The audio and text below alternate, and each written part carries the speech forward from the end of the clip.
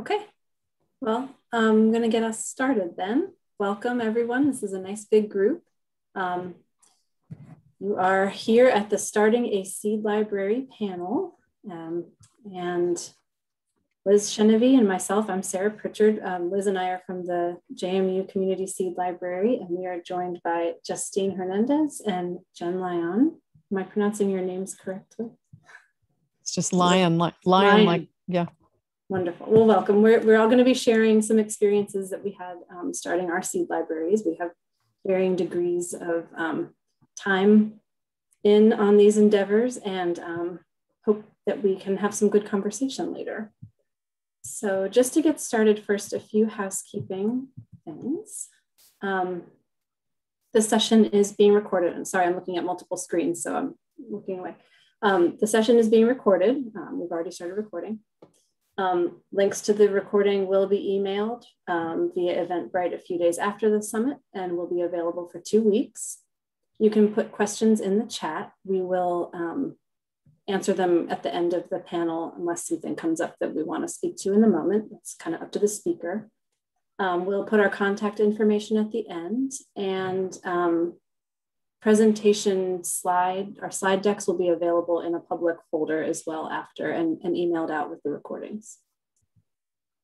Another reminder, if you're interested in the Seeds of Vandana Shiva, um, you need to buy a separate ticket for the film and um, they will be streaming this now through tomorrow. So um, I think Liz was gonna, thank you, Liz. Um, the link is in the chat if you wanna get a ticket for that.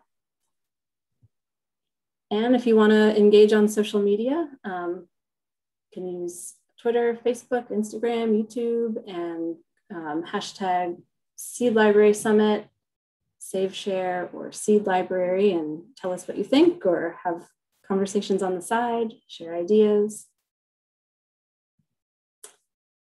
Okay, that was quick. Um, I guess I'll just give a little overview of um, kind of the layout here. So we're here for an hour. Um, each library panelist will be speaking for 15, 20 minutes, and then we'll save some time for questions at the end. Well, I guess we're each going to be speaking for 15 minutes, and we'll, if we finish early, we'll have a little extra time for questions. Um, at that time, if you can just put questions in the chat, then we'll go through and answer as many as possible. Um, and thank you, Liz. There's also a uh, summit feedback survey. You can give feedback on this and other sessions. So um, definitely do so that we can learn what works and what doesn't. And so um, Liz and I are going to be speaking first about um, the JMU Community Seed Library, and I'm going to hand it over to Liz to begin and myself. Thanks, Sarah. Um, you can go ahead and go to the next slide.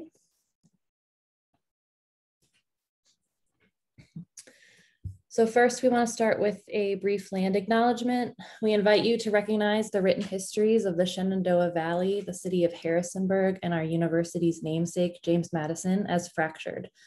Let us acknowledge then that we are currently on the land of the indigenous Siouan, Algonquian, and Haudenosaunee, oh, I'm sorry, Haudenosaunee communities who lived here for many generations and who continue to be systematically erased by policies and practices that remove their histories from this place. Let us honor the enslaved people who built the wealth and foundation of James Madison. Let us recognize the histories of Virginia and the United States as complicit with the racism of white supremacy. We recognize that these difficult histories persist in present day racial realities and privileges at this university. We commit to dismantling racism in spaces of our work. We invite you to work beside us to create change. And I want to acknowledge that this land acknowledgement was written by our Center for Faculty Innovation at our university. Um, they put a lot of really uh, good labor into this statement. Next slide, please.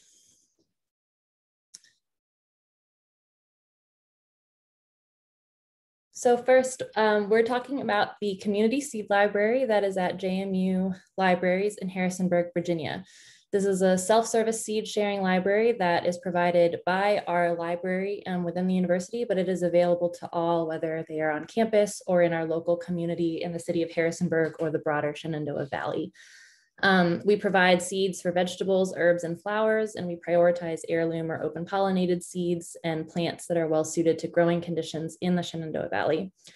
We also strive to provide culturally relevant seeds, recognizing the diverse populations and gardening knowledge of our neighbors across the valley and their plant traditions. Next slide. So a little bit more of this context of kind of where we are. Um, JMU Libraries, um, our mission is to, part of our mission is to engage with JMU's diverse communities in their creation and search for knowledge. And so when we were developing our proposal to our library administration, um, which we're going to talk a little bit more about later, we really kind of focused in on what are our libraries and our universities' missions. So again, next the next part down is James Madison's mission is is that we are committed to preparing students to be educated and enlightened citizens. So we really tapped into these two mission and vision statements in preparing our proposal um, because we as a university are trying to engage with our local community a lot more um, and that you know we as librarians see that um, knowledge and information creation is not just about the text right it's not just about physical items um, it's not about databases um, that seeds can are in themselves information and they share knowledge and that we wanted to kind of engage with this in a slightly different way. So we really um, focused in on some of these statements. And then some of the broader context of our library and our community, Harrisonburg, Virginia, where we, our university is um, placed, is also a refugee resettlement community. So when I was talking about kind of what we prior what what seeds we prioritize, um, we're not only prioritizing the seeds that already grew here or the crops that already grew here because we are an agricultural region, but we really wanted to um, engage with the diverse community that we have here. I believe our local high school has upwards of 50 languages spoken in it. Um, and so we really wanted to try to engage with this broader community, especially because our institution, James Madison University, is a primarily white institution. Um, and so we wanted to kind of start to bridge those connections through gardening and through seeds. Um, we also just in our general area, we have lots of community interest in the outdoors and in sustainability. Um, we are between a national forest and a national park.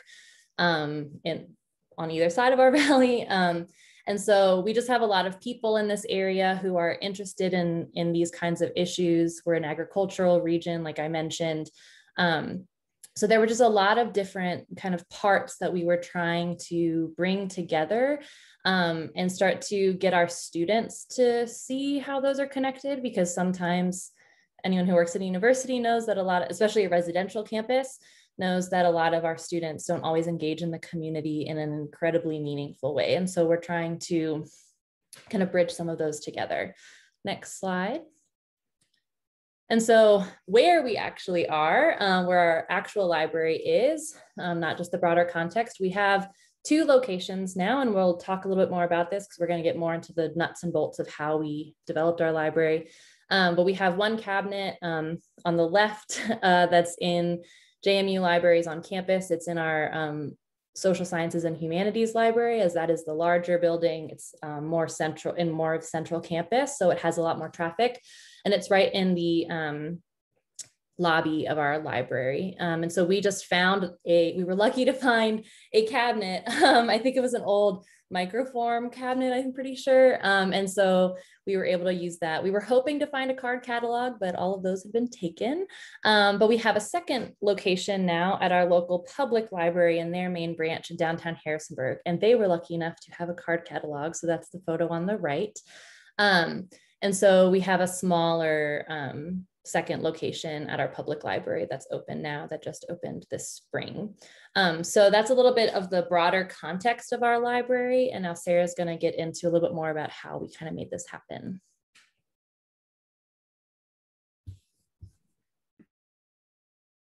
Thanks, Liz. Um, so first, uh, a little bit about the, the why. Um, this is our this is our mission statement. Um, you can see our mission is to provide free access to seeds for all, provide programming to share knowledge and skills related to growing gardens and saving seeds, and relevant resources and information. Um, and creating a mission statement and getting clear on your values and why you're creating a seed library is a really important early step in the process. Um, Liz and I find it incredibly helpful to have a guiding mission that keeps us aligned with the work we're doing.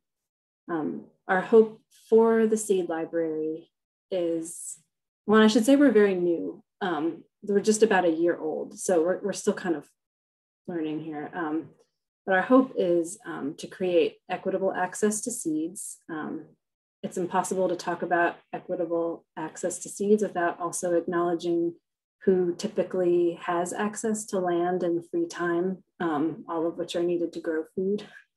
Our seed library doesn't solve all the problems, but we do want to try to lower the barriers to obtaining seeds and supplies. Um, our second location at the public library, Massanutten Regional, um, came as a direct result of our mission. JMU is often seen as a barrier to access for community patrons in terms of things like location and parking. And so the Massanutten Regional Library branch offers greater accessibility for folks who aren't regularly on campus. Um, in terms of programming, um, we're a very young library, so we haven't had many events and we've been mostly uh, an entity during COVID. Um, so we've hosted two virtual events that you can find linked on our website, um, which we'll share. But as we grow and gain momentum in the community and make connections, we want to stay focused on our values of equity and access um, in our programming as well. There's a lot of rich cultural tra tradition around food um, and gardening. And it's important that we reflect this diversity of our community through our events. Um, we don't want to be gatekeepers to local knowledge. We want to be a supportive platform and mirror our community members' experiences. Um, so as you start a library and consider budget, um, please consider compensating speakers for sharing their knowledge and expertise. It's an important way to honor that labor and then to keep the money in the community. Um, and as for resources, um, the last part of our mission, um, we used a portion of our budget the first year to purchase several books for a temporary book display and then we also have several um, resources highlighted on our website, which um, I'll put in the chat.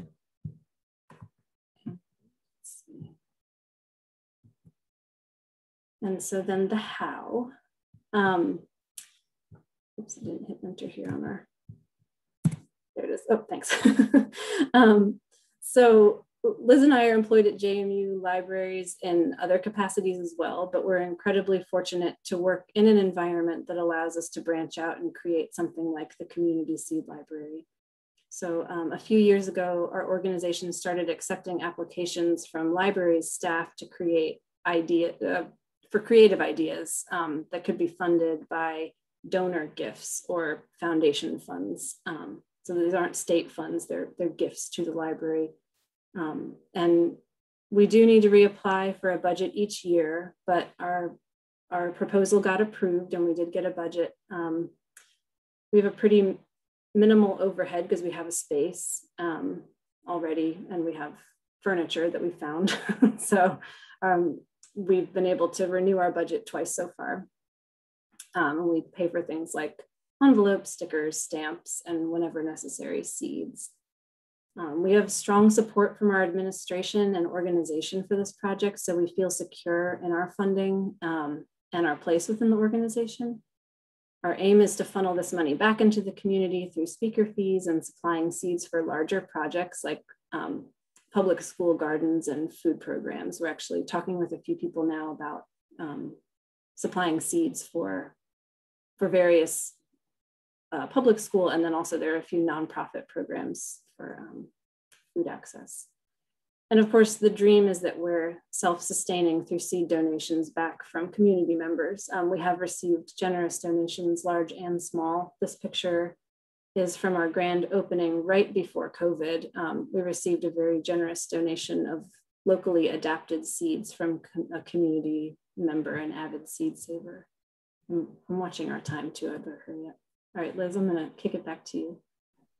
Yeah, thanks. I realized, yeah, I was like, oh, um, okay. So this is a little bit of a timeline to kind of show how we put this in practice. So like Sarah said, we um, applied for this grant funding. So we recognize that we're in an incredibly privileged position um, in our library where um, they want these creative projects that tell a story, right? So that we can tell this story to our donors to continue to get donations to the library in general. Um, so we received the funding um, in April of 2019. Actually, it was like just around this time because I found out when I was at the conference that I was just at this past week. Um, and so then we started really getting started. So when we um, did the grant application, we had already developed our mission statement.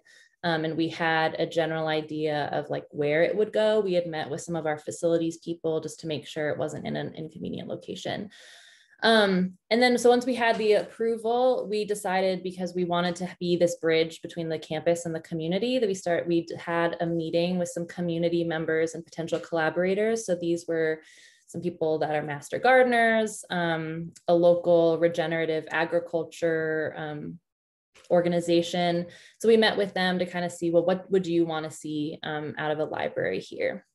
Um, and then through that meeting actually is how we got our first donation of seeds, um, which was actually from a friend of one of those people who worked at Lowe's and they were getting rid of some seeds. And we were like, sure, we'll just take whatever to get started. And then we can start to really prioritize the heirloom seeds, but let's just get something. Um, and then it's something fun we can also give away to students as like a, hey, come and see this fun thing. We also started working with community uh, student groups, excuse me. Um, so we worked with, um, we have a student group on campus that works uh, to, to um, a campus kitchen to make food for people who um, are unhoused. Um, so we worked with them to host a documentary screening of the documentary Seed, the Untold Story, to kind of talk a little bit about food sovereignty um, and seed sovereignty. Um, and then we were kind of working behind the scenes, finding finding that cabinet, um, which took a lot longer than I thought it would. Um, and then we officially launched in February 2020. Um, the end of February 2020, I must add, because two weeks later everything shut down.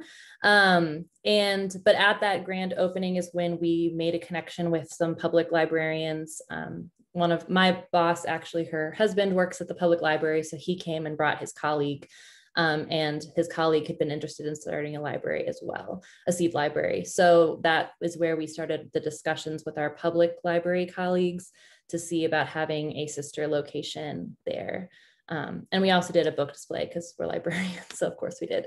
Um, but then COVID came. So Sarah's going to talk a little bit uh, about how we kind of adapted um, since we couldn't have people in our building anymore. Our build, our campus library closed until the summer. Um, so we couldn't have people coming in, students or community members. So we had to pivot and see how we could um, still meet that need. Okay, real quick, I promise we're almost done, Justine and Jen.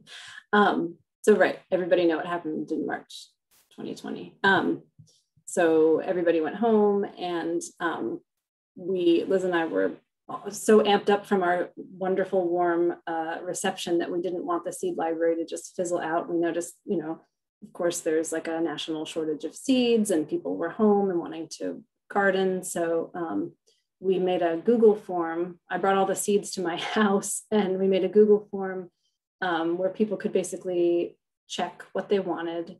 And um, Liz coordinated scheduling so there could be um, space in between people picking up I assembled packets and we people picked them up from my porch um, for a few months.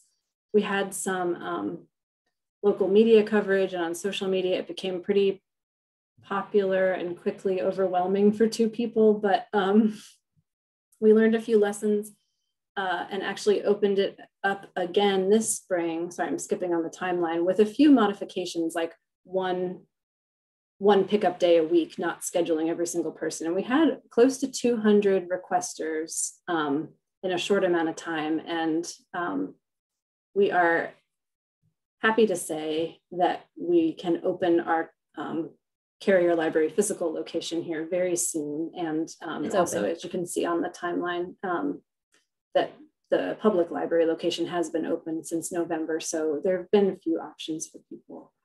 I opened the carrier library one yesterday. Woo, okay, we're open. tore the tape off.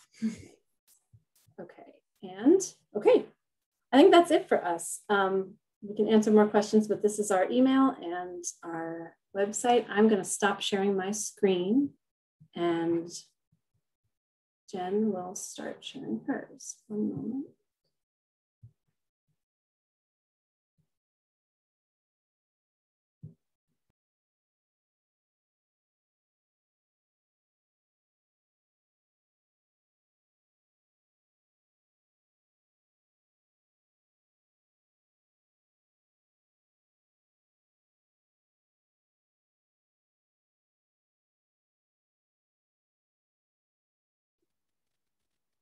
Is there any way to let her know that she is uh, muted? She needs to unmute. Working on it. All right. You guys can hear me now, yeah? Yep. Okay. All right. So my name is Jen Lyon, and um, I am in rural Mendocino County, California, which is about two hours north of the San Francisco Bridge. And um, I want to acknowledge that the land that um, we live on here is uh, part and whole um, of the Pomo Nation um, here in Mendocino County. Um, and our seed library is called the Yokayo Seed Project, and Yokayo is the is the Pomo name of this valley that we uh, live and work in. And I um, am a library technician um, and was a library assistant when I started the um, seed library here at the Ukiah Library about um, 2013. And I also um, managed the one on our bookmobile um, and those seeds travel about 250 miles every week going out to small rural communities. Um, Mendocino County is really geographically challenged. It's very big uh, physically county, but um, with a whole bunch of small townships. And um, Ukiah, which is the county seat, is only about 15,000 people, maybe as many as 19,000, but small, small and rural. So I wanted to talk about reasons why you would want to start a seed library. And I think this picture is a really good example of why you would want to start a seed library. Um, you know, beautiful homegrown uh, heirloom varieties. This um, looks like it's Paul Robeson, and I grew this amazing, beautiful um, tomato last season and saved seed from, from it. Hey, uh, Jen, uh, I don't mean to interrupt, but you're not sharing your screen. I'm not. Okay. Thank you for letting me know. Yep, you're welcome.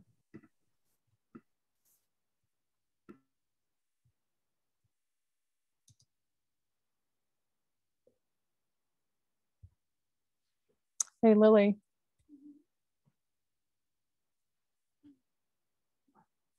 I'm not sharing the screen, so here.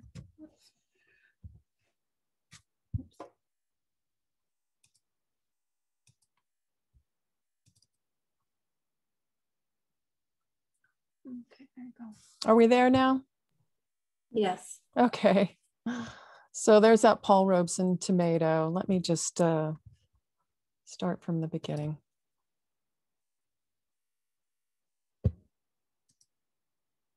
There we go. Um, all right. So there's our beautiful logo. I'll talk about that in a little bit. That was part of the funding. Um, and there's that beautiful Paul Robeson tomato. Um, so I wanted to talk about uh, reasons for um, starting a seed library. Um, we looked for, we're always looking for um, community needs and um, there are six seed, six libraries in our um, system, and um, there was only one library that had a seed library.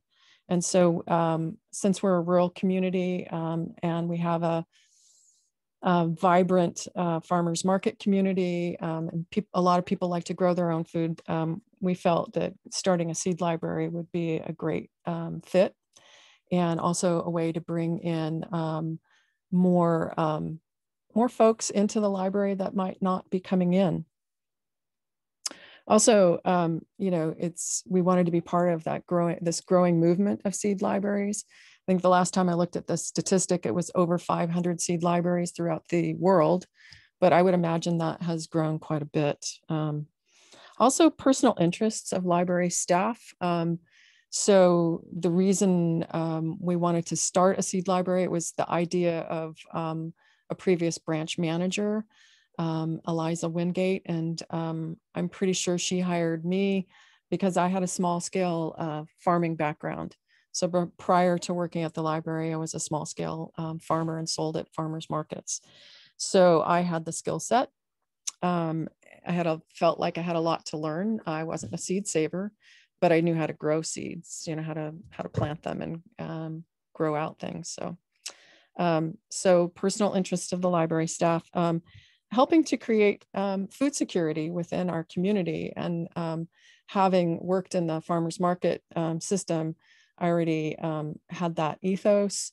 And um, I really feel strongly without seed security, you don't have food security. So um, having seed libraries in our systems really um, supports that.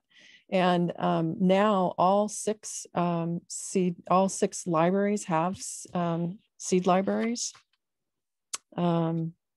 so also to grow your own food, you know, the list can go on. So also, I think a great um, reason why you want to be growing to seed is to have the full life cycle of the garden, allowing it to flower, which attracts these beautiful pollinators um, into your garden. So these were some of the visitors to my garden last season because I let everything go to seed. So down to the dirt, how do we, how did we start? What did we do? Um, I talked to um, I talked to other seed librarians. Um, fortunately, uh, Round Valley um, in Covelo, uh, which is one of our um, branches, uh, already had a seed library, so I was able to contact uh, Pat Sobrero and um, ask her how she got started, and she gave me her list of donors and um, and then I took field trips. I did research, found out where there were other seed libraries. Um, I had to drive as far as Richmond to go and look at Richmond Grows, um, which was a couple hour drive for me, and um, also have visited um, the the seed exchange in Sonoma County as well. So, reading books of obviously um, is very helpful. Um, and I can recommend seed libraries and other means of keeping seeds in the hands of people uh, by Cindy Conner. And um, the Richmond Grows website is um, incredibly helpful. When um, Rebecca asked me if I would speak on this panel, I said, well, I would say go to your website, done. Um, but she said, no, I'm sure you have your own story to tell too. So um, in this next slide was, it shows you things that you are going to need. So this is just like the nuts and bolts of what you will need and you'll be able to access this later on when it's made available. So this list will be, um, or you can screen, you know, screenshot it and save it. So it's just a basic list of things that you're going to need, things to start thinking about um, for working with your seed library. Um, funding, you're going to have to figure out how you're going to pay for it because there are going to be some costs. Um, and we fortunately um, did a grant and that um, in California, we have the book to action grant um, which is funded through the uh, California Library System and out of Sacramento. I believe our grant was for $5,000. So that allowed us to um, have that beautiful logo designed. We did a competition and that was the winner. Um, and that artist was paid for their work. Um, we feel strongly that people who participate with their skills um, should be paid, um, although we use an awful lot of volunteer labor to run our seed library as well. Um, so we had the grant and that helped pay for um, some of the materials needed to start as well as we did a grand opening and it paid for three lecturers that were part of that grand opening.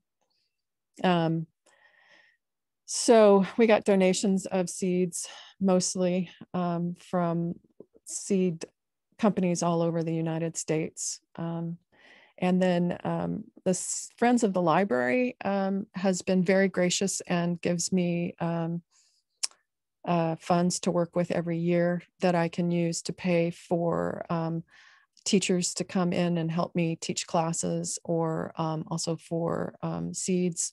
And they also paid for me to go to the Rocky Mountain Seed Alliance um, uh, teacher training seed school, um, which was an amazing experience. And if you are able, um, I would definitely take a look and find out what courses they may be offering in the future.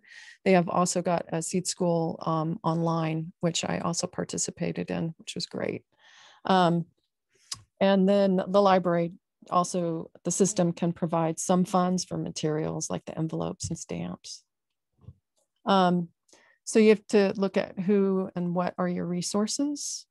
So in our county, we have an ag department and an extension. Um, we have a community college and um, at the ag department, um, I am good friends with um, somebody who teaches some of the ag courses and they come in and help teach some of the seeds, uh, seed saving classes that we teach. Um, so Richmond Grows is there. Um, you can rely heavily on that website. Lots of great information really made starting a seed library very, very easy.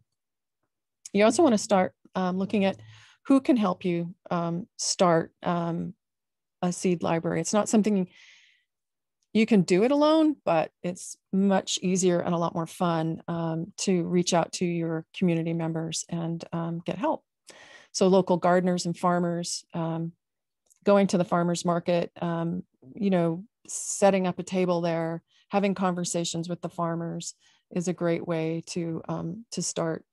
And um, we had a master gardener who actually came into the library and walked up to the front desk and, and shook, put her hand out to shake my hand and said, "Hi, I'm Gail. I want to start a seed library." And I said, "Yay, me too!" And so um, she helped me. Uh, she did a lot of um, of the seed packaging of all those donations and cleaning up uh, what would become the home of the seeds once um, we had that. So um, that was a great partnership. Um, and if there's community garden network um, connecting with those folks, um, and then interested community members, I met with um, interested community members on a monthly basis, and we had a discussion um, every month um, leading up to the opening of the seed library, and they were very helpful in helping guide me. Also looking for nonprofit organizations that uh, do good work in your community. And, and we have the United Way here in Mendocino County called North Coast Opportunities. And they have a Gardens Project program. And they um, uh, create and build um, community gardens throughout Mendocino and adjacent Lake County. And so I've worked with them uh, quite a bit as well. So you want to think about how you're going to house your collection. And we've seen um, how Sarah and Liz housed theirs. And I will show you um, four examples of the six seed libraries. I also want you to think about this little beady-eyed critter at the bottom of the page. When you've got seeds, um, he might come visit. I personally had experience with this little guy. So make sure that you are really tidy with all of your, um, your seed collection. So this is ours. We fortunately um, had a seed or a, a card catalog um, stashed away somewhere in county storage. And so we brought it back to life and it's our seed library. Um, it houses um, currently over 2000 seed packets. There's over 400 varieties of seed.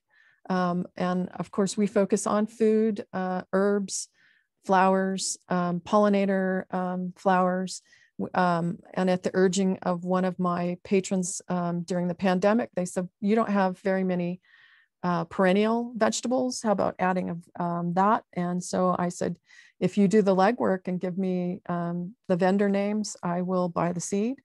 And also at the urging of one of our Asian community members, also we have an Asian uh, collection as well.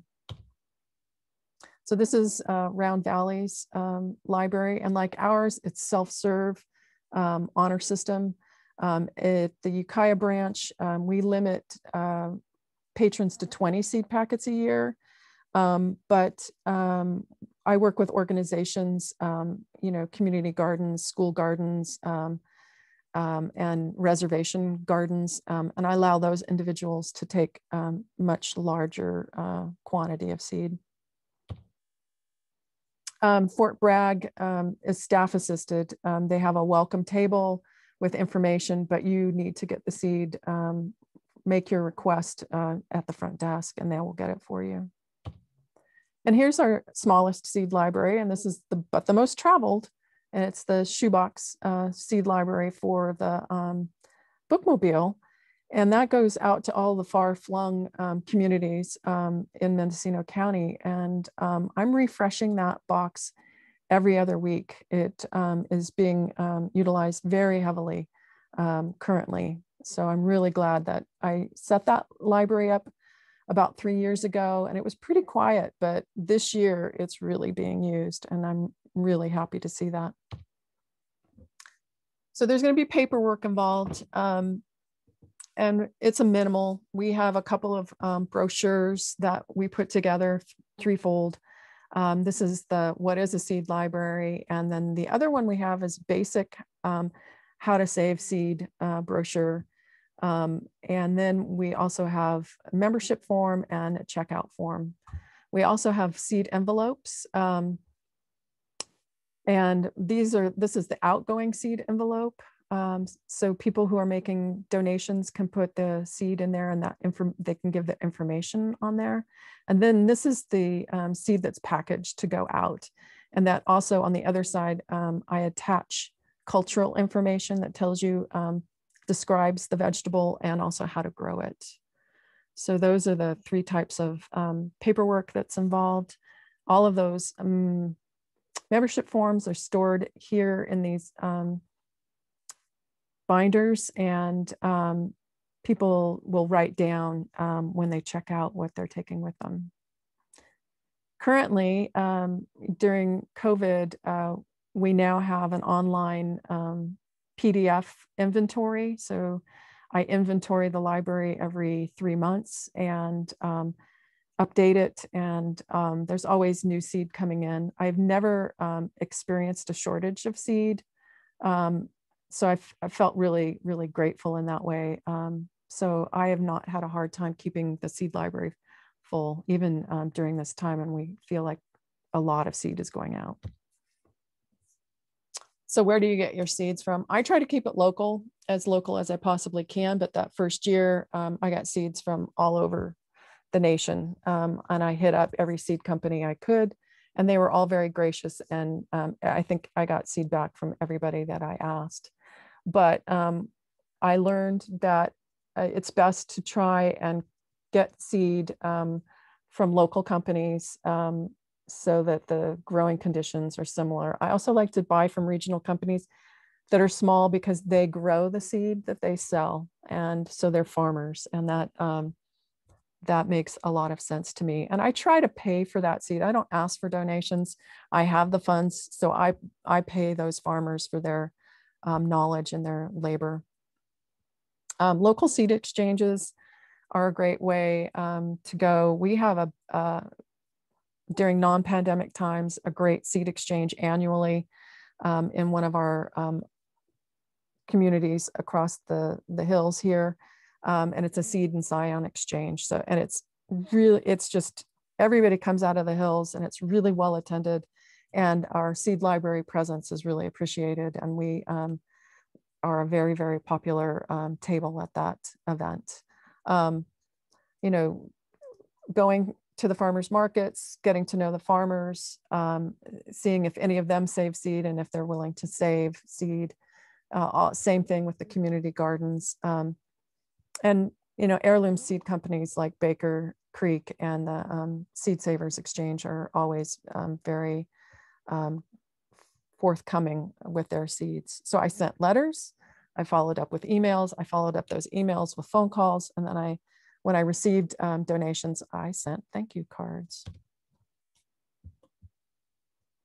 Um, so partnering is a big part of what I do um, with our seed library, and I've partnered with um, the garden club and the master gardeners. Um, I've spoken um, spoken um, given lectures for both of those um, organizations. Transition Town initiatives. Ours was kind of winding down, and so they gave us all of the seed that they had and that was some of the seed that we started our seed library with. Um, and you can see um, permacultural uh, guilds, um, community gardens. We have a seed, um, a small seed uh, garden at the food bank. And so we partnered with them on that. Um, and uh, social justice groups um, often are really great at helping us get the word out and volunteer organizations like NCO. Um, getting the word out, promoting your seed library is something that you really want to do because you want people to know that you have the seed and you want it to get out there. And so how can you do that? Um, with our grand opening event um, was really well attended. We had three speakers um, and we were able to give out seed and um, that was a great way to initially get the word out. Also, you know, the paper was there. And so, you know, it was on the front page of the paper. Um, and in our small community, the newspaper still is something that is a really great way to get the word out. Um, I, because I'm a public in a public library, do in-house displays, which I try to refresh on a monthly basis. Um, social media we use a lot. Um, we use um, Instagram and Facebook. Um, and our seed library has a Facebook page, um, as well as posting through the library Facebook page and Instagram. I've done radio interviews and newspaper interviews. Programming is a great way to get the word out because you have to do uh, press releases for those um, programming events, and then that gets into gets on the radio and um, into the paper. And outreach events um, such as um, Earth Day, farmers convergences, the Seed and Scion Exchange. So anytime there's an outreach opportunity, I take it. So these are some of the programs that we um, have done um, at the Ukiah branch and at the um, Round Valley um, branch. So part of my um, my class with the Rocky Mountain Seed Alliance, I had to come home and do a seed school in a day program. And so that is the flyer for that event. Um, so I'll just show you uh, some of those programs. Um, seed bombs are um, like these little emissaries that um, people really enjoy um, coming in and getting their hands dirty. And um, we linked it with um, monarch rescue. So we use a monarch habitat restoration seed for those programs. My favorite is the fall seed cleaning workshop where we bring in seed that we've grown through the season and um, it's hands-on and everybody gets to learn how to use the screens and winnow and um, so that's a great um, a great workshop that I really enjoy. And we do in-house displays. And one of our um, favorite workshops is just a seed planting party. And so um, you know, you, as you can see here, it makes everybody of all ages happy to come and plant some seeds for their gardens. And it gets um, people in to um, learn about the seed library. So here we were at seed school in a day. Um, and I got funds from the Friends of the Library to host this and have it catered because it was an all day event. We hired um, a local chef who um, did most of her um, sourcing from the local farmers. So it was a farm to table lunch. So if you're going to feed them, uh, they show up. And so we filled the class, no problem. Um, so people are learning how to winnow and clean seed and do germination tests and how to pack seeds. And there's our students and our teachers. So our dream was to have a seed garden um, and we were able to accomplish that with partnering with um, a college instructor. And um, she um, grows some of the seed out at the college.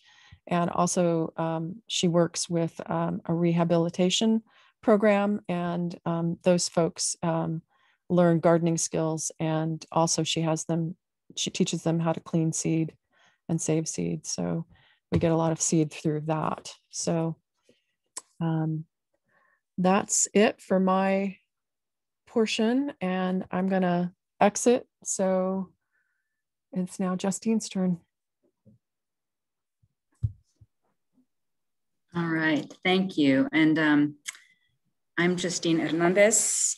Um, I we have we want to save some time. It looks like there are a lot of questions coming through the chat, and um, I think many of our um, origin stories are very similar. So I I think there was a lot of wisdom in Rebecca sort of um, inviting who she invited to be part of this presentation. Um, so I'm here in uh, Tucson, Arizona, which is part of uh, Pima County um, in the southern part of Arizona. And um, I just want to also acknowledge that, um, that uh, Pima County Public Library and its branches are located uh, throughout Pima County on unceded uh, ancestral territories, including those of the Tohono O'odham and the Yaqui Yoemi peoples.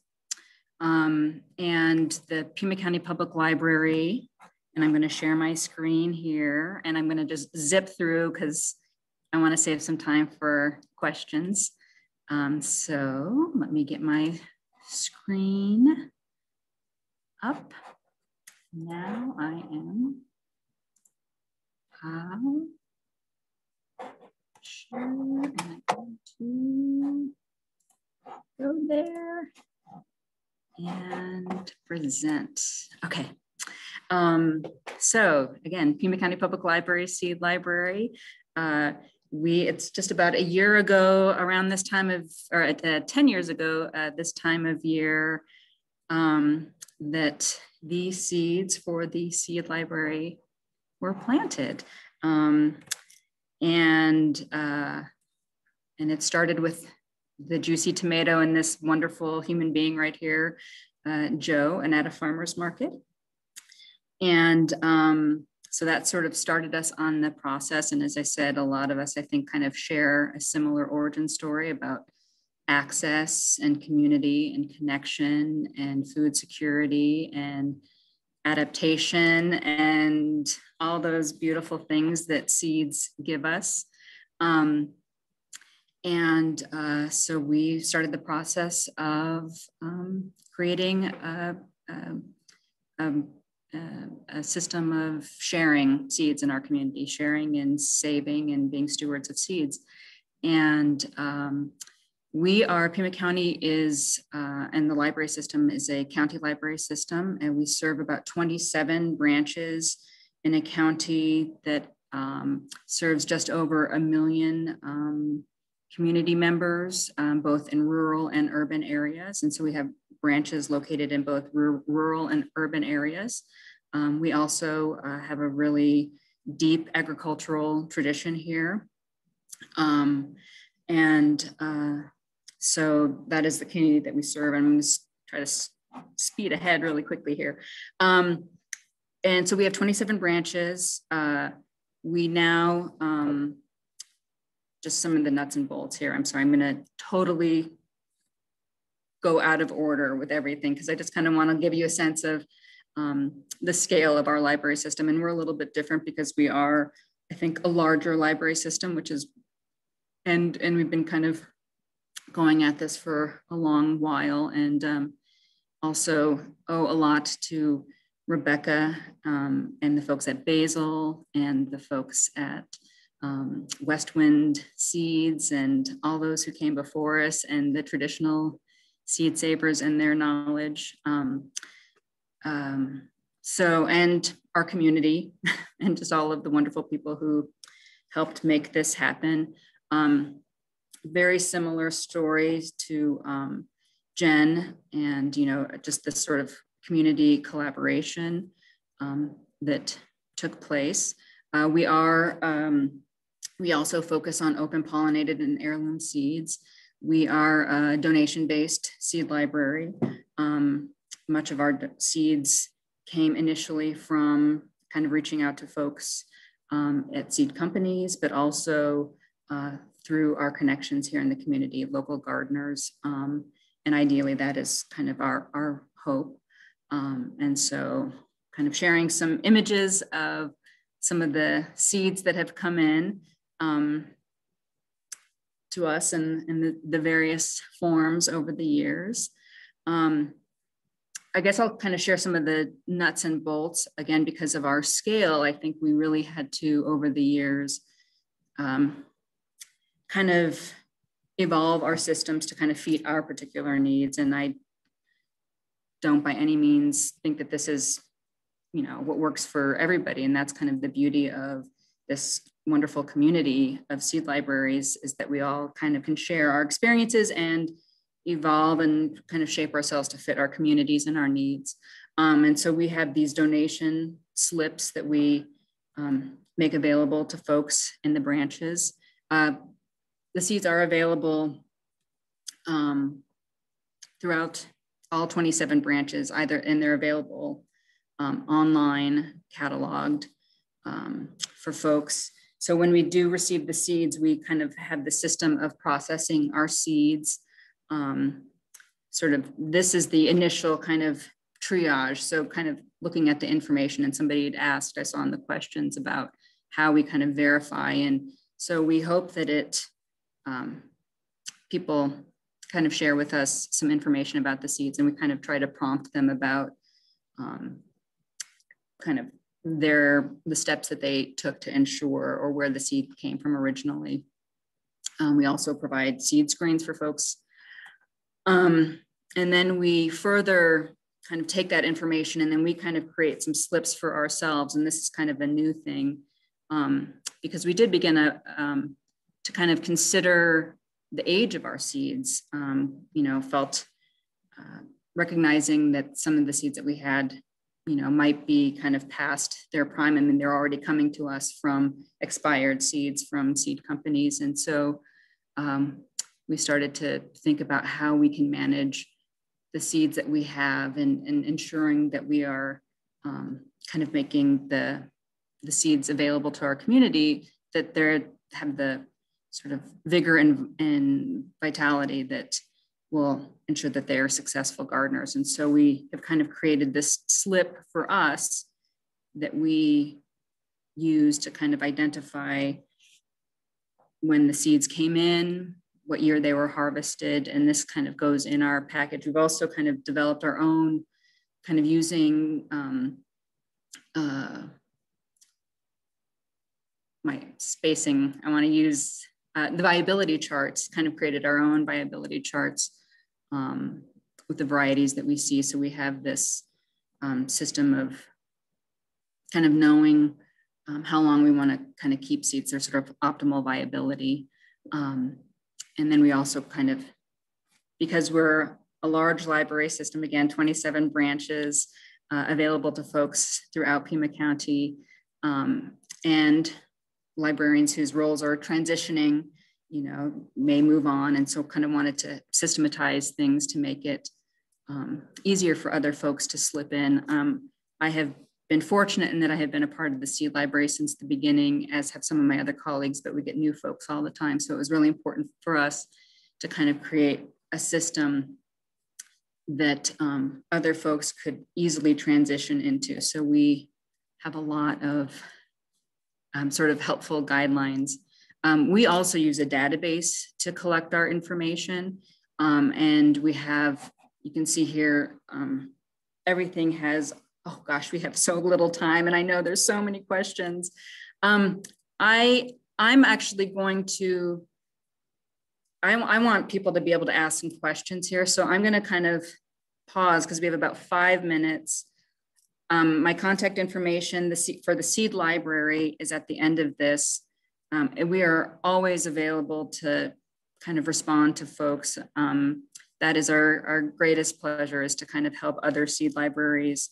So um, I am going to stop right here. I'm sorry, because I want people to be able to ask some questions here. So um, that's okay with everybody.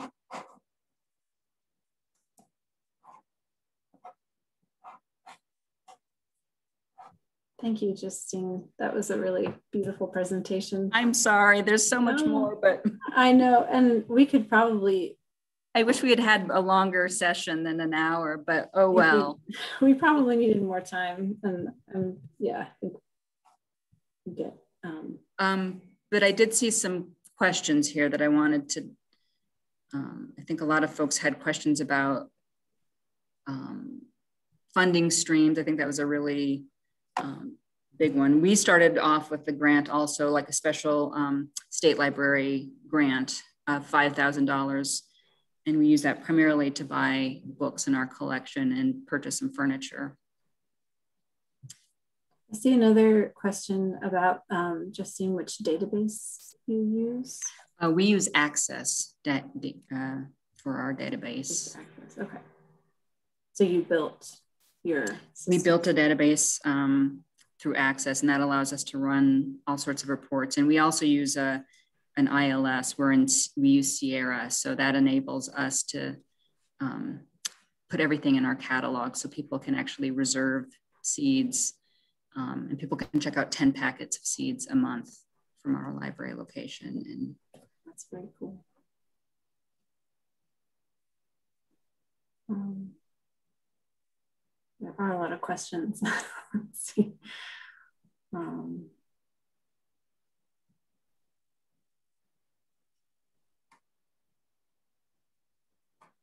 um, Liz, are you seeing? I'm trying to scroll back up. I think we answered a few in the chat. Oh, um, sorry, I see this one uh, for anyone to answer. Do you have concerns about, or have you experienced any problems with people returning seeds and them not being what they said they were said to be? I'm getting lots of resistance from people allegedly scared of bioterrorism.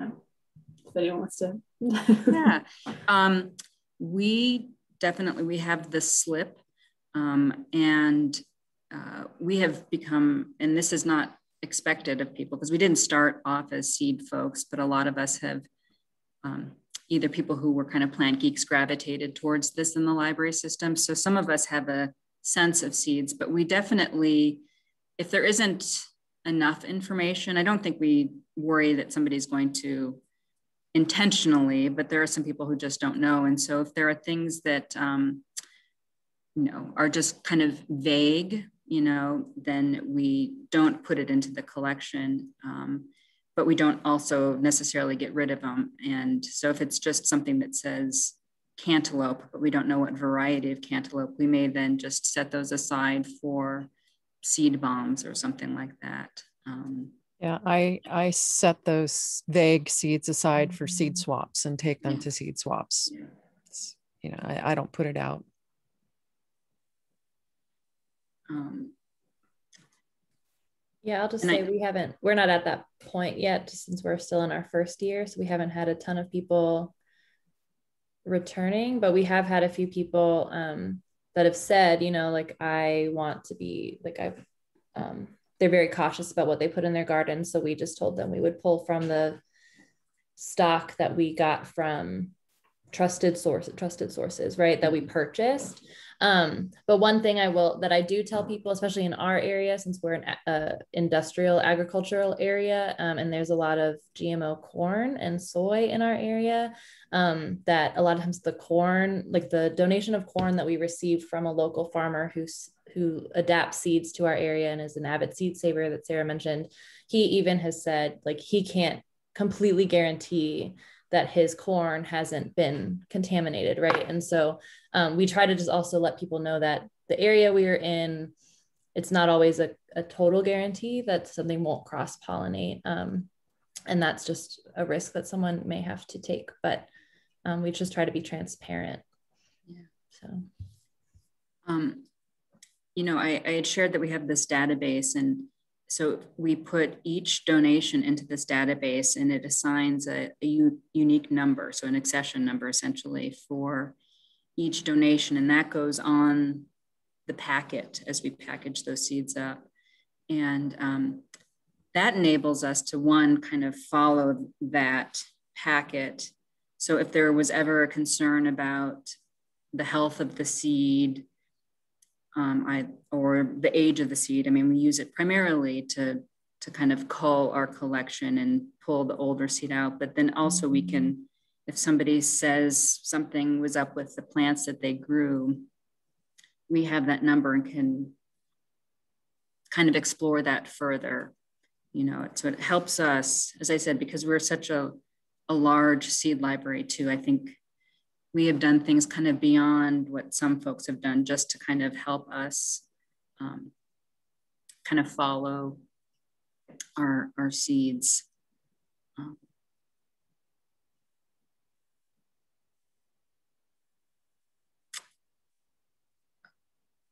seeing a lot of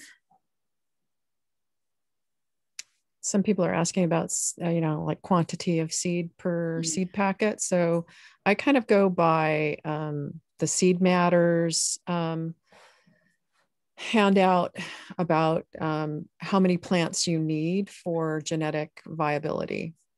Um, so I, I like if it's beans the minimum would be 10 seeds because you need a minimum of 10 plants. It's the same thing with lettuce. So i kind of go by you know what how how few plants you would need. Of course, with some I give a lot more. It just depends also on how much seed I have. If I have a lot of something, then it's you know it's a really nice heaping teaspoon rather than just a few seeds. Mm-hmm. And yeah, when I purchase seed packets, I break them down into smaller amounts. Um, because often when you buy a seed packet, you never use the whole seed packet um, and you keep it for years. Um, so I break them down into smaller amounts, more usable amounts.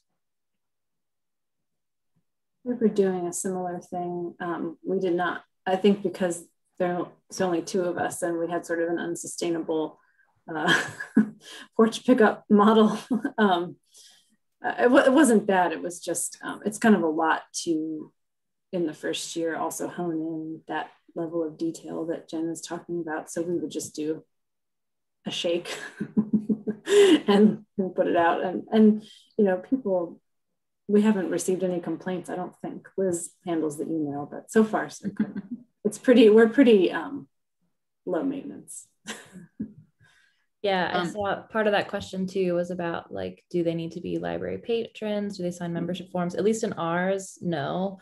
Um, ours is completely, we don't have it even tied to our ILS. Um, we wanted it to be completely self service. Um, now that it's been the contactless porch pickup, it's not self service. Obviously, we are doing a lot more labor. Um, but our initial plan was just seeds are there, look through, take what you want, return it if you want. Like it's all very honor system e. Um, and that's how the one at our public li- the second location at our public library is running that way as well. We didn't want to, um, especially in our our academic library, the majority of our frontline staff are student workers and i didn't we didn't want to burden any of those people with having to learn a whole new thing that they need to check out answering a lot of questions. We wanted it to be um, take the burden off of them a little bit. Um, and it just is a little you know we have full-time jobs elsewhere in the library so it makes it a little easier on us. So ours is completely open to anyone because as a public institution our library is open to the community. So anyone can come in take what they want and drop off what they'd like to also. Um, I see a, couple times, a couple folks have asked the question about the ILS, and um, I think we may be the only ones using an ILS on this on this panel right now.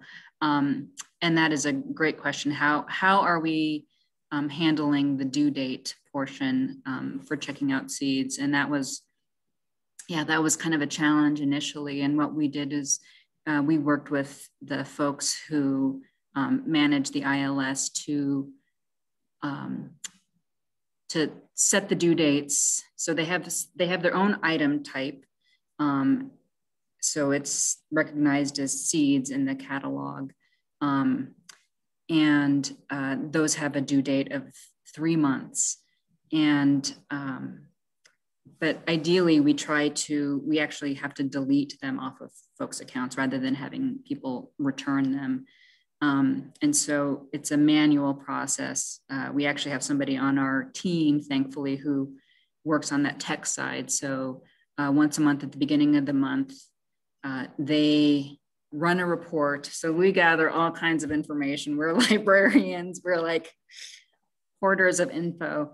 Um, but we sort of gather statistics like what locations they were checking out from, not personal information about the patrons, but locations, types of seeds, and that kind of helps us know what is of interest to folks to what things are checking out and what locations. And um, so we gather that data and then those records are just cleared. So they come off of people's accounts um, and then they're free to check out their 10 packets again for the month. So that is how we do it. Um, I did want to just something that's, I think, we learned later because we started doing one seed. Um, and we actually, with the idea of combining people's um, donations together into, into a larger donation and kind of also getting that genetic diversity. Um, but we had an infestation because we did it with beans one time. So somebody had beans that had little weevils in them and it spread to the whole donation, which was really mm. heartbreaking.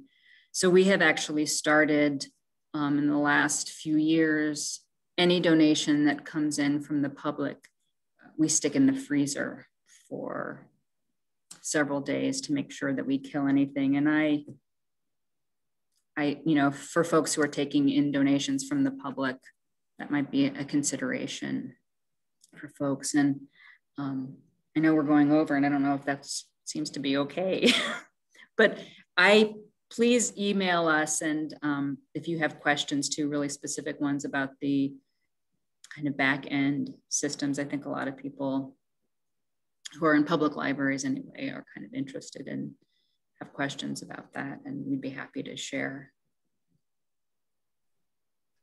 Yeah, thank you. And thank you everyone for staying a little bit over. I realize yeah, there's still questions out there. Liz just put our contact info in the chat, so please feel free to reach out with more questions. Um, and thank you for being here. And thanks to our panelists. And I hope you continue to enjoy the Seed Summit. Thank you. Bye bye. Everyone. Thank you.